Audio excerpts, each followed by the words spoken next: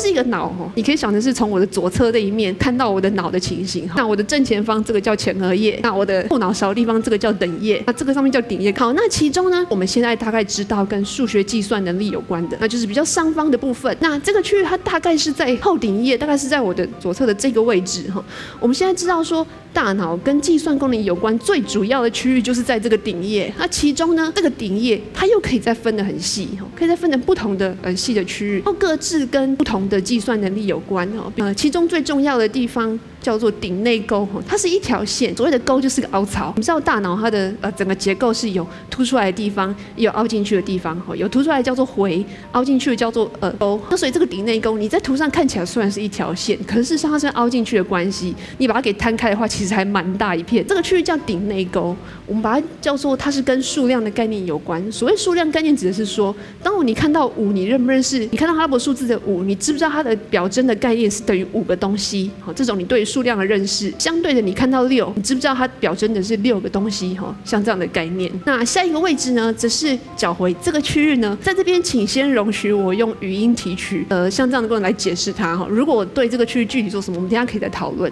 但是在数学计算上，通常我们会把它当做是语音提取功能。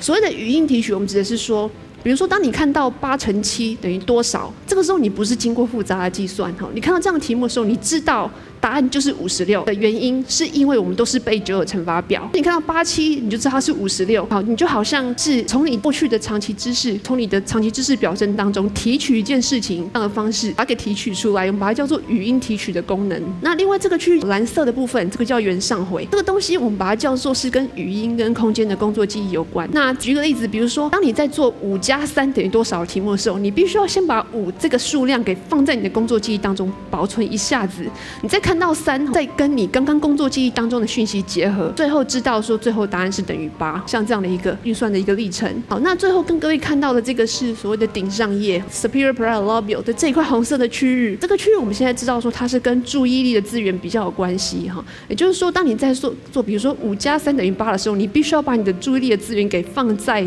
解决现在这个题目上面，所以大致上我们现在知道说，大脑的后顶叶哈是最主要跟计算相关的一个区域。事实上还有其他地方啊，我们现在透过大脑连接的这些研究证据，我们知道说其实是全脑都在运作，只是它核心的区域是在大脑的后顶叶这边。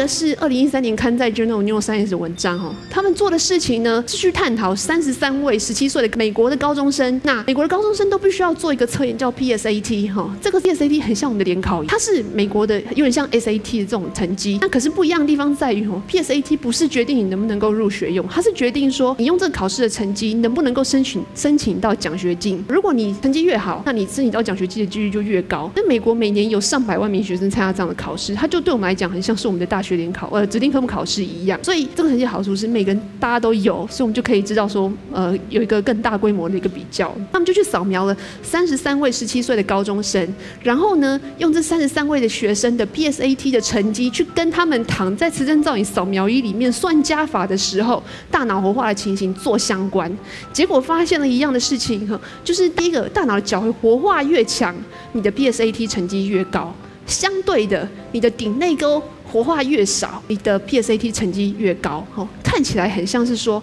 数学成绩好的那些人比较倾向使用 annular gyrus 和角回这样的区，而比较不倾向使用顶内沟。只有在算加法的时候，那所以这是很重要的结果啦。我现在跟你讲说你的数学好不好，完全是你看你的顶叶好的呃功能好，你的顶叶活化的强或是活化的弱。这个族种族叫皮拉哈，他们的语言当中没有所谓的数字。研究人员就去探讨，像这一个种族，他们的啊呃数对数量的使用。